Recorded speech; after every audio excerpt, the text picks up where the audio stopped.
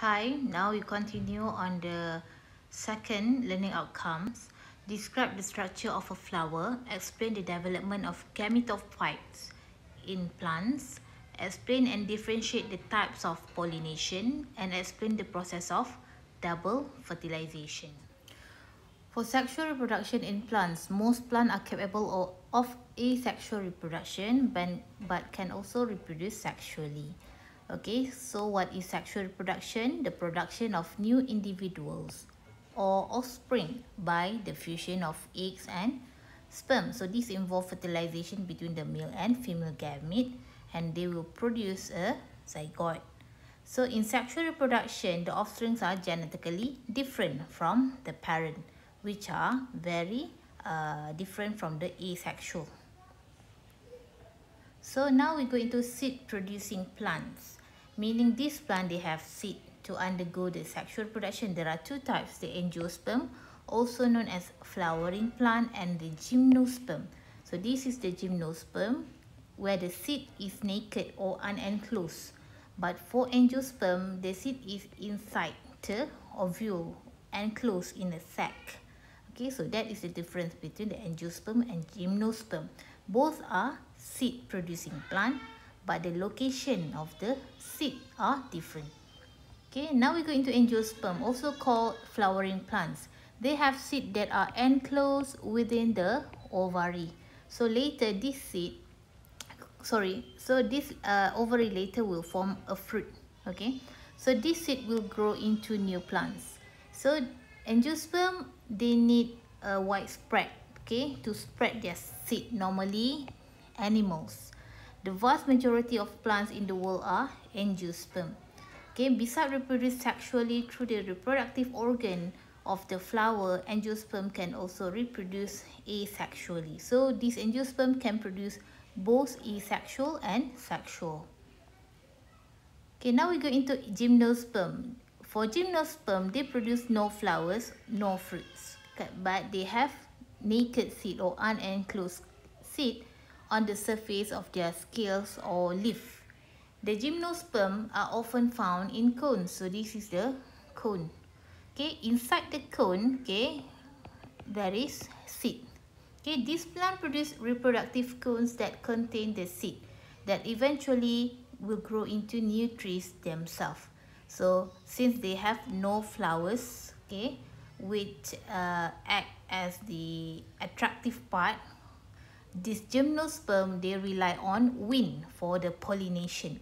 Example, the pine tree, cedar tree, spruce, okay, they are all gymnosperm. Okay, so these are the example of gymnosperm. Pollination enables gamete to come together within a flower. In angiosperm, example, the dominant sporophyte. Okay, sporophyte means the organ that produce spores or the organ that produce the uh, embryo. Okay, the dominant sporophyte okay, will produce the spores that develop within flowers into male gametophyte or also known as pollen grain. Okay, uh, we call pollen grain refer to the male. For female gametophyte, we call embryo sac. Okay. So this is an just overview of angiosperm reproduction. So this is the flower. Okay, the receptacle, the petal, okay, the filament and anther. So the filament and anther considered as stamen. Okay.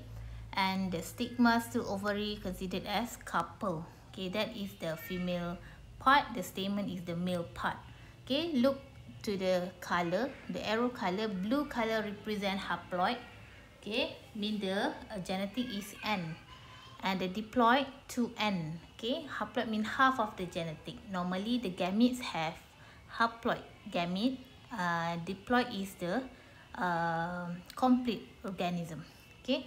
So this is from the flower or the or, or the reproductive part okay? They will produce the microsporangium and inside the microsporangium there is microsporocyte So this is inside the anther. Okay. The microsporophyte is in the form of 2N. Okay. In order to produce gamete, they must undergo meiosis because meiosis they will half okay the number of the uh, the number of the genetic or the DNA of the organism. So from this meiosis, they produce microspore. Okay, microspore.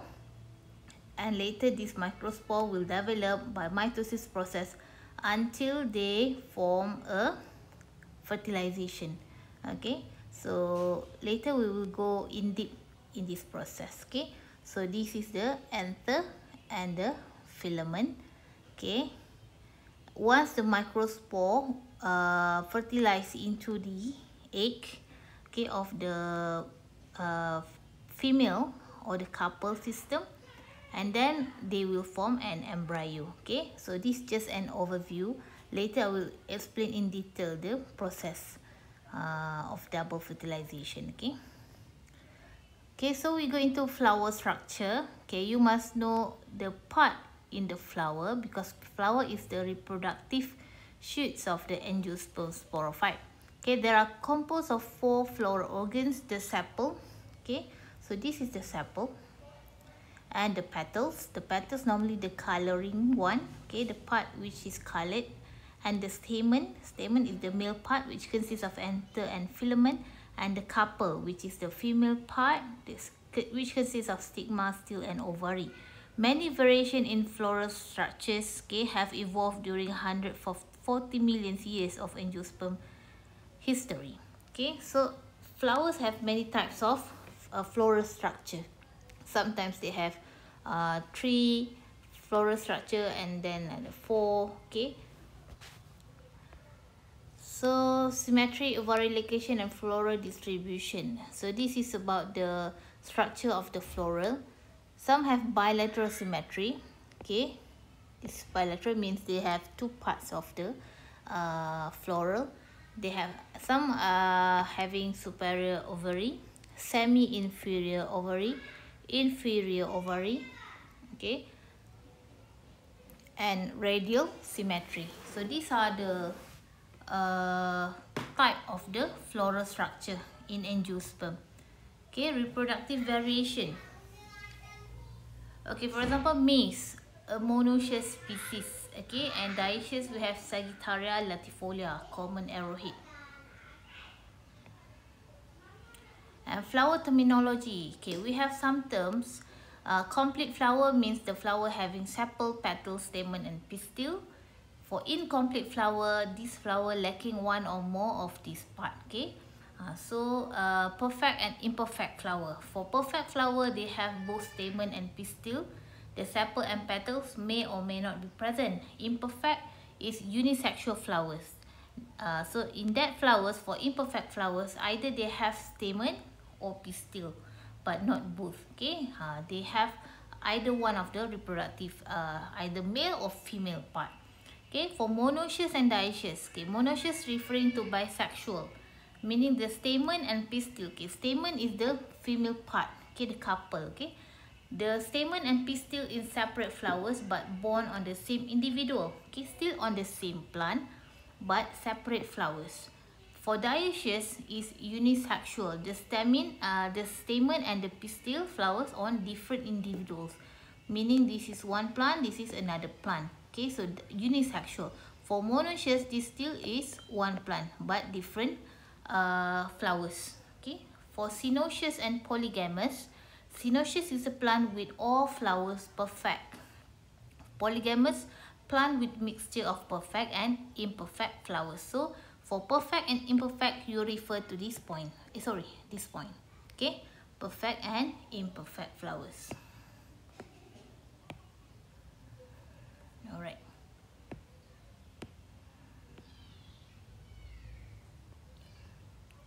Okay, now we go into sexual reproduction involves two fundamental process which are meiosis. Okay, where from the diploid, they will form haploid gamete and then fertilization. So meiosis is the process of rearrangement of genes. It's a reductional division. Okay, they want to reduce the number of DNA where the chromosome are reduced the haploid set. Okay, so what is fertilization? The process of fusion of the haploid gametes. Okay, remember the gametes must be in haploid to form a diploid zygote. The plants can fertilize by pollination. Most of the plants will undergo alternation of generation with two phases, gametophyte and sporophyte phase. Okay, alternation of generation means from haploid, they will go into diploid. From diploid, they may go into haploid. So, the alternate, okay. Uh, so, from the gametophyte means from the gamete phase, okay, from the end. Okay, sporophyte means from the zygote or the uh, complete the complete organism, new organism. So this is the sporophyte phase. So for gametophyte phase is the haploid multicellular stage in the life cycle. The gametophyte develop from a haploid spore. So there are two types of gamete, the male gametophyte which produce sperm and the female gametophyte which produce the egg. The male and female gametes will fuse okay, to form diploid, zyg diploid zygote. The zygote will develop into multicellular sporophyte by mitosis. Once the zygote form, they will grow. Okay, they will increase in size by the process of meiosis. Eh, sorry, mitosis. Okay, sporophyte phase is the multicellular diploid stage.